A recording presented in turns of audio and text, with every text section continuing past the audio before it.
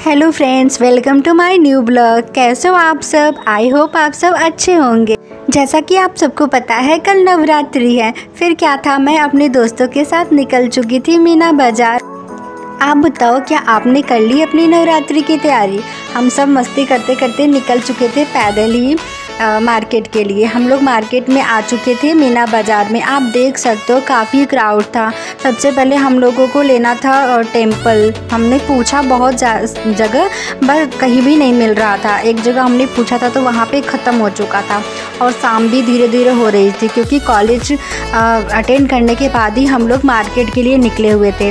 हमने एक प्यारा सा माता रानी की मूर्ति लिया, जैसे कि आप देख रहे हो। हमने उसकी चुनरी ली और यहाँ पे काफ़ी सारे सामान थे। ये भगवान जी के काफ़ी सारे वस्त्र थे और ये रहा उनका आसन, जो काफ़ी प्यारे प्यारे थे। जैसा कि आप खुद देख सकते हैं वीडियो में, यहाँ पे मूर्ति और फ़ोटो काफ़ी सारे थे। और यहाँ आज के दिन, शाम के टाइम में तो इतनी क्राउड थी, बहुत ज़्यादा क्राउड थी। मैंने माता रानी के लिए प्यारी सी एक माला लिया और चुनरी लिया।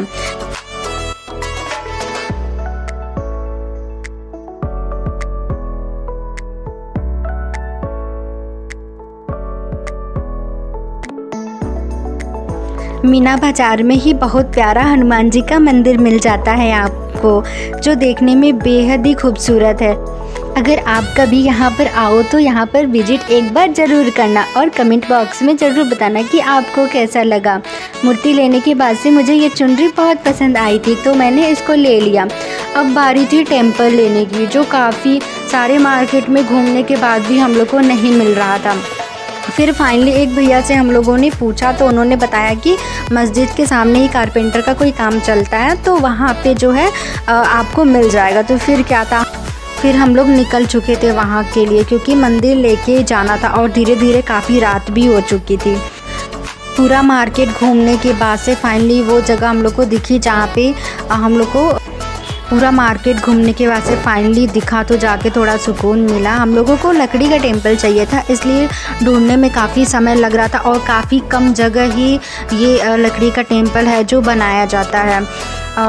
यहाँ पे क्या था कि बहुत साइज़ में छोटे थे या फिर काफ़ी बड़े थे तो जो हम लोगों के साइज़ के नहीं मिल रहे थे। फाइनली एक मिला जो मेरी जो मूर्ति है उसमें आ रही थी तो मैंने इसको लेना प्रेफर किया। लेकिन ये एक ही था और लेने वाले दो थे, क्योंकि मेरी फ्रेंड को भी चाहिए था तो मैंने तो एक ले लिया।